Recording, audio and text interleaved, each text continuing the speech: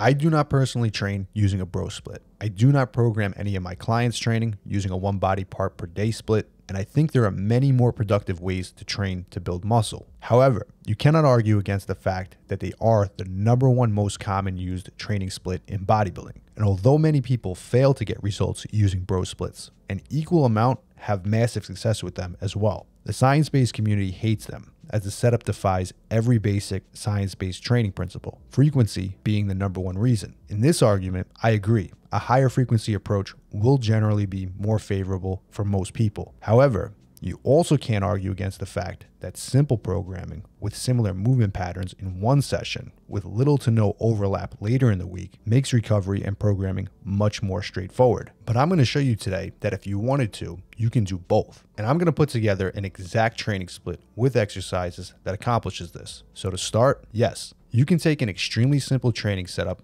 like a one body part per session bro split and make it check all the boxes of higher frequency training, body parts hit two to three times per week, and keeping protein synthesis elevated between each session. I'll demonstrate this by using the most common bro split based on the chest, back, legs, shoulders, and arms split. For chest, any compound lift that day will work the chest primarily with a large degree of front delt work and a smaller degree of secondary tricep work. So by definition, you're also training shoulders and triceps on chest day, although to a much smaller degree than when you're training them directly. But now, if we add or pick other movements that add a high degree of tricep work on chest day that also stimulates the chest primarily, we're now getting direct work for all three of these muscle groups without having to add excessive amounts of sets. For example, if we incorporate just two specific chest movements on chest day, that hit the triceps and the front delts very hard. We're essentially training the chest, delts, and triceps directly, even though we're using a typical bro split and it's Monday or chest day. The two movements in this case would be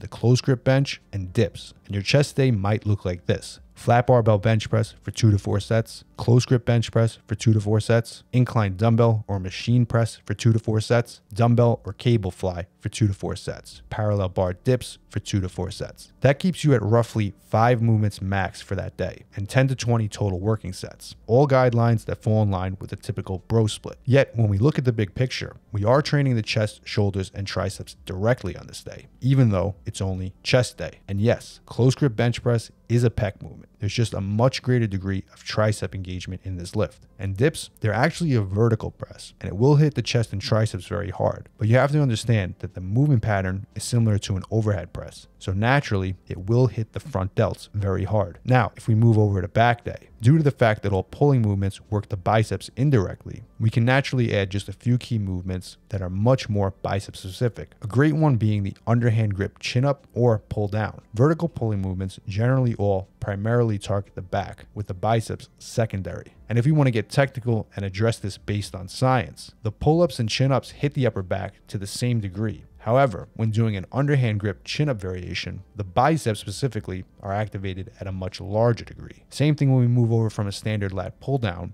to a standard pull up. The wide grip pull up will target the upper back to a similar degree as the pull down, but the pull up will target the biceps much more specifically. So naturally, if we're building a science-based bro split, we want to incorporate all these movements into the routine. A typical back day that also targets the biceps and vertical and horizontal movements might look something like this. Wide grip pull-ups for two to four sets, underhand grip chin-ups for two to four sets, underhand grip lat pull down for two to four sets, optional, barbell or dumbbell row for two to four sets, machine or cable row for two to four sets, dumbbell or cable pullover for two to four sets, and a deadlift variation for two to four sets. Again, this puts you in that 10 to 20 sets range, and you're arguably working the back and biceps equally in the first two to three movements. The deadlift's hitting the entire posterior chain as well as quads, making it a movement that trains the back and lower body very effectively. And depending on your goals, you can make the deadlift more hamstring specific by doing a stiff leg, more glute specific by doing an RDL, or more quad specific by using a trap bar. By doing so, you're accomplishing a solid back, bicep, and leg day in this one session. But again, you're still only programming in back movements for this day because it's back day. Next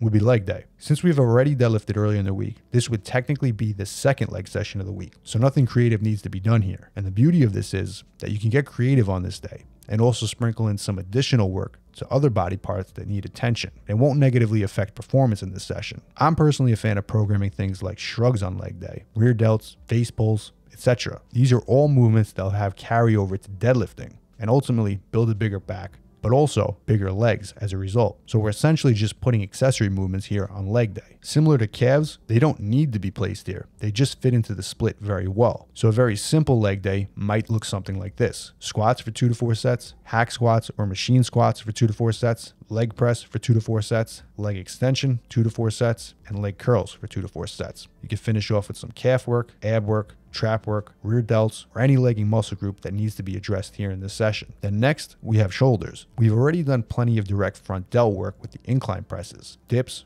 and any other compound chest pressing movements that we've done on chest day. So this would be the second time we hit shoulders here. So we will limit the direct work to the front delts here and focus more on the side and rear delts. But we'll also want to accomplish some secondary work to the chest on this day, checking off the box of that twice per week frequency we're after. A shoulder day here could look something like this. High incline shoulder press for two to four sets. This not only works the front delts, but the upper pecs. Side lateral raise for two to four sets. Additional work can be done for the side delts with a second lateral raise variation. This can be cables or machines for two to four sets. Reverse pec deck for the rear delts for two to four sets. And one weak point specific exercise of your choice for two to four sets. Again, all shoulder specific training on this day, but it also hits the pecs hard for a second time during the week, accomplishing that multiple weekly frequency we're after for chest, shoulders, and triceps here. And finally, if we're filling in a typical bro split, we will have an arm day. This is where everyone gets it wrong, assuming arm day can only work the biceps and triceps, when in reality, you can make arm day a full upper body session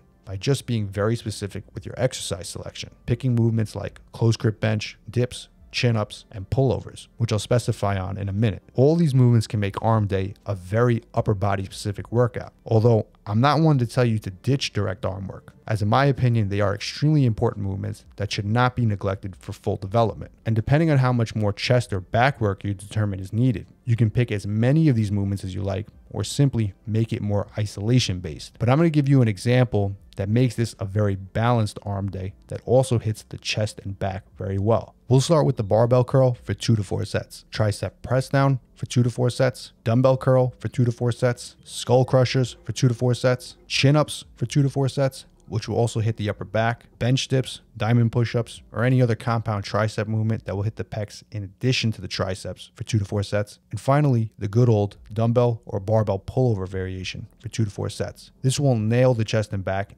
and the triceps all in one movement. Now, I know what you're thinking. Pullover is a back movement. It shouldn't be done on arm day. But you also might hear someone say it's a chest movement. But everyone forgets that it's also an extremely effective tricep movement if we're talking about the specific dumbbell or barbell variation, as this movement completely stretches the triceps, causing a massive pump. But now, if we want to take it a step further and make it an even more tricep specific movement without neglecting the chest or back, the pullover and press variation is a game changer. This old school exercise where you do a pullover with a barbell on a close grip and then press it up at the top hammers the chest, back, and triceps equally. And in a setup like this, it should be a staple movement. Now, if we pull back our lens and take a look at this training routine, it's easy to look at it and assume that we have a typical bro split a chest day, a back day, a leg day, a shoulder day, and an arm day, a typical five day per week split. Yet, when we look deeper, we can see the advanced programming strategies we use to hit muscle groups directly and indirectly two to three times per week without putting anything on the back burner. Something that most people would assume that can only be done with a setup like push pull legs, which unfortunately always comes with the cost of having to prioritize one body part and putting the other one at the end of a session. So the point of this video is to show you that with proper intelligent programming, you can make a split or system more effective. And if you box yourself into a corner with rules that you think you must follow to get the best results, you will ultimately see less progress by being confined by rules. Many people will say frequency is best, others will say bro splits are best. I'm showing you that you can find a way to do both if you really wanted to. But if your goal is to build mass and you're looking to do so using proven old school bodybuilding training methods that have been time tested, tried and true since the beginning of bodybuilding, I highly recommend you check out my five day old school mass gain training program in the description below. And as always, if you guys want to see more of the best original bodybuilding content just like this, make sure to hit subscribe.